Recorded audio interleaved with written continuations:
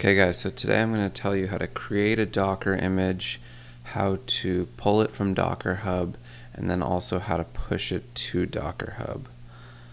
Um, so the first step is um, we have a we have a DigitalOcean droplet turned on here, um, this Nginx tutorial droplet. This has Docker installed. So we're going to connect to that.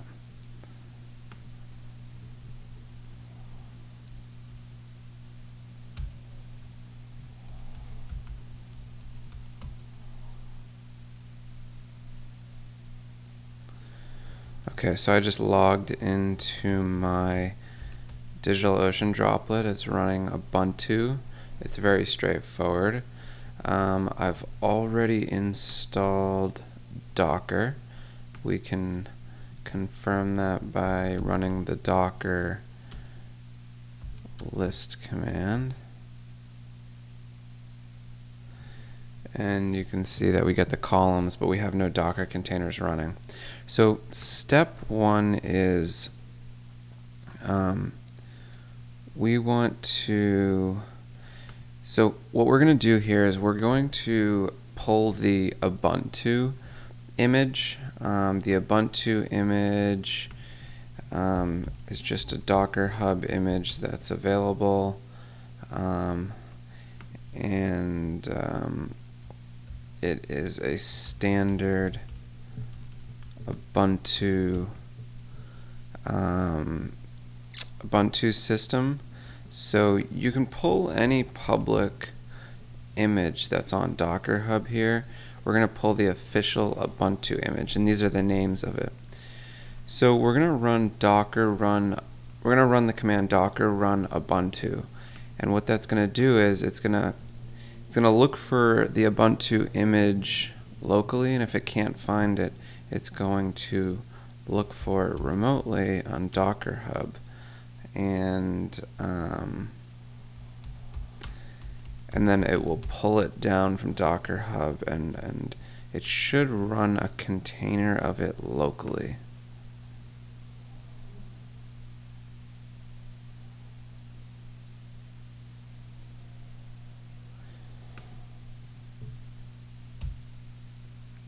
So as you can see, it's yeah, pulling from Ubuntu. If it was local, it would, yeah, and it was unable to find it locally. Um, okay, that looks like that's done. Let's do our docker list command. All right, so what we did is we, we pulled the image and then we ran a container, but we immediately exited. So it was um, we, so we can't really do anything in that container because it's not up and running. So what I'm going to do is I'm going to do the same exact thing, but I'm going to add a couple flags so that it runs in the background and it stays running and it doesn't exit. Um, you'll notice this time that since we already pulled it, it's going to it's not going to download it. It's going to run it from the local image that we already stored. So we're just going to do docker run detach and then the same exact name there. Um, so if I do a list command Okay, so now we have the most recent container, which has been up for three seconds. Run it again, up for eight seconds. So it's just standing up there, which is perfect because what we're going to want to do is log into there, make some changes, commit those changes, and then create a new image and push that image to Docker Hub. So as a next step, why don't we, we'll log into the container. So this is very a very useful command, docker exec dash it we pass it our standing container. Your container has to be up and running or else it won't work. Then we're going to run the command bash. So it looks like nothing happened, but we were SSH'd root at my DigitalOcean droplet Nginx tutorial. Now we're root at Docker container. And if I do a list, this is our Ubuntu image. Uh, we can do anything on this. We could download packages from the internet. We could set up services, anything we want. For the sake of this example, let's just make a directory. So make directory, let's call this test docker tutorial, nice cap so it's easy to find, Cool, so now we have a new directory in here. And what I'm going to do is, I'm going to exit out of it. So now I'm back in my uh, DigitalOcean droplet. I'm going to run the docker list command, and it's still standing up. It's still standing up, and I'll show you if we log back in,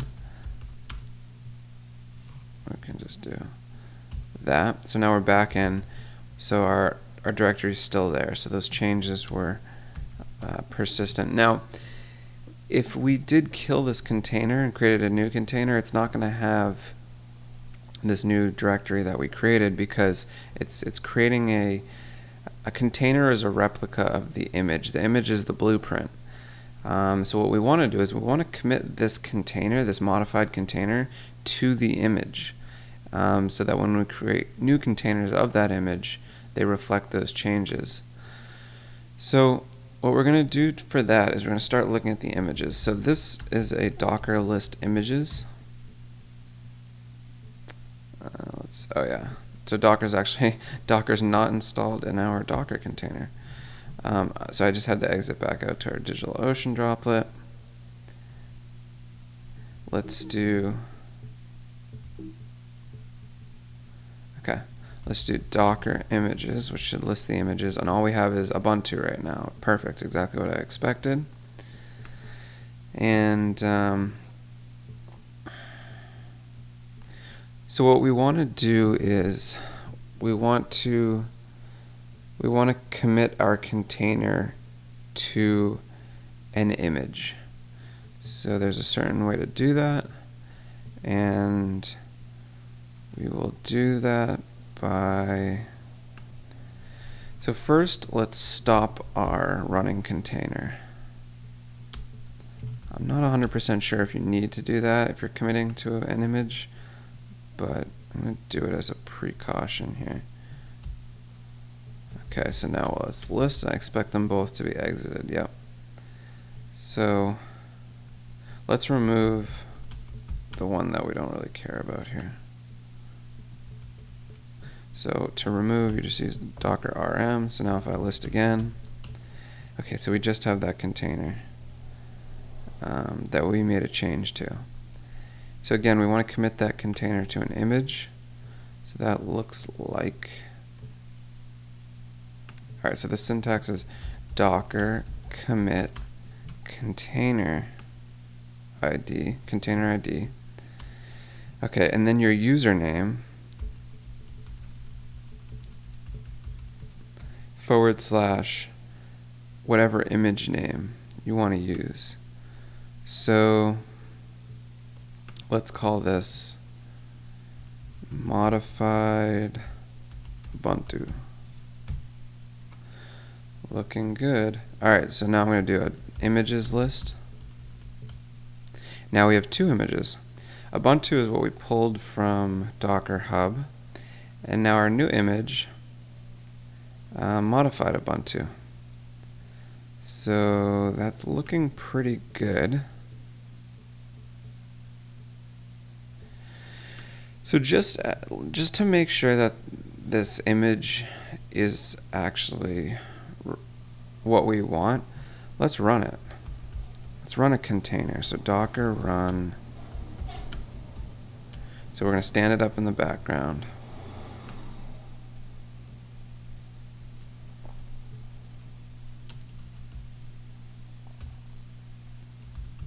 We're going to list the containers. Let's log into this. And I'm expecting that folder to be there. So docker exec-it container bash. Cool. So we have an image that if you create containers of now reflects the changes we made because we have that directory test docker tutorial. So that's awesome. All right, let's push it to Docker Hub. All right, so if I go to Docker Hub and I go to my dashboard, these are all my images right now. Um, yeah, most of them are private.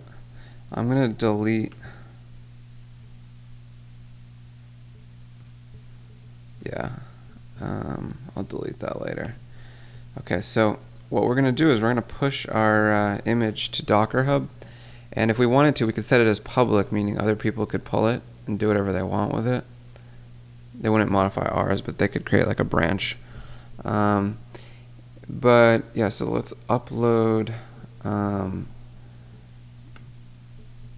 let's upload modified Ubuntu to Docker Hub.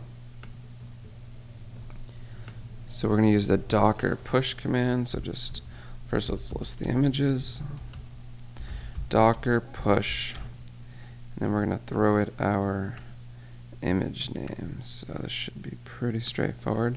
And it's going to prompt us to log in, obviously, because right now it doesn't know that we're associated with that Docker Hub account. Um, Alright, so it's prompting me for my username.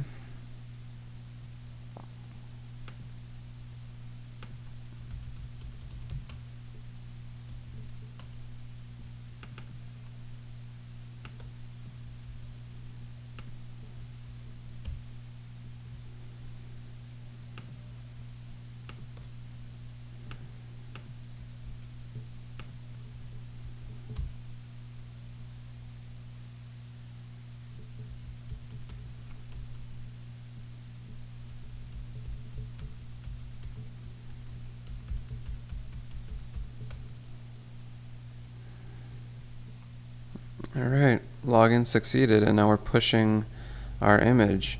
Um, quick note, these different line items here, um, the way Docker works is it pushes in layers. Um, so basically what happens is we basically just pushed up the image Ubuntu. with the only difference was we added a directory called test docker tutorial. So Docker is sophisticated enough to realize that. So what it does is as it's pushing or pulling, it's running a differential um, between um, the image and the other layers um, in those environments.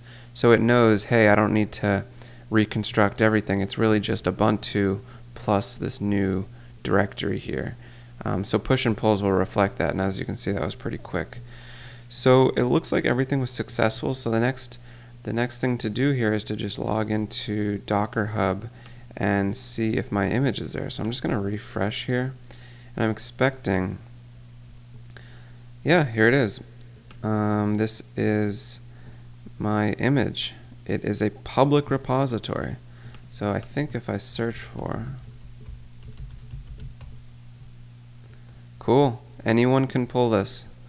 Um, so what I'm going to do here is I'm going to delete all my local images. So first let's delete the container. So docker ps negative a. So docker rm to delete containers, you just throw it the uh, container ID. That was still running, so looking good. And then I'm just going to delete this other container here.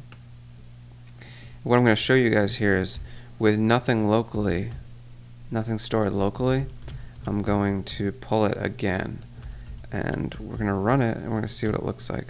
So I'm going to delete my Docker images, my local Docker images as well. So slightly different command docker rm images, rmi, then we pass it that, that looks good. So we'll do that again, but we'll do it with just Ubuntu. So what I'm doing here is I'm deleting everything related to Docker. So we have no containers running. We have no images local. So what I'm going to do is now just pretend I'm any old user and I want to pull this new image and I want to play around with it. Well, I should be able to do that. So docker run. Let's detach it, run it in the background. And I think I just pass it modified Ubuntu. I think. Maybe I have to pass it the whole thing, but I'm not sure. Let's try it. Modified Ubuntu. Yeah. So actually we need my, my uh, username in there. Cool, it's downloading the layers.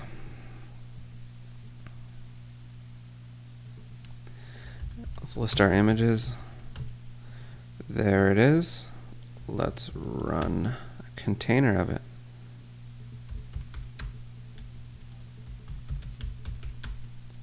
And again, I'm detaching it so it's standing up in the background. So we can log into it in a second. List out our containers.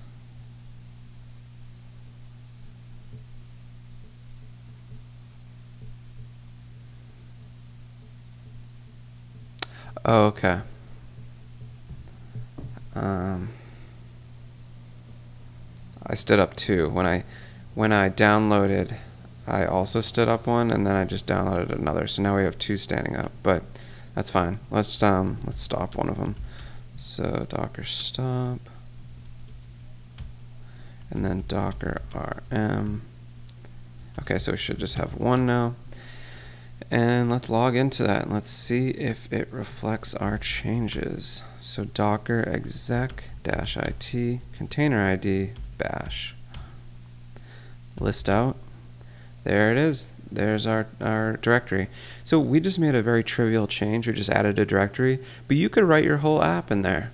And any system can download your app and you could start up servers. Like, you know, it, it's a really, really powerful tool and um, you know I think the value is pretty apparent. Um, it's something that we've used quite a bit with a lot of success. The workflow is easy. We haven't seen any issues, um, so we've been very happy with it. But that is how you create images. That's how you push and pull images, and that's how you uh, create containers of those images.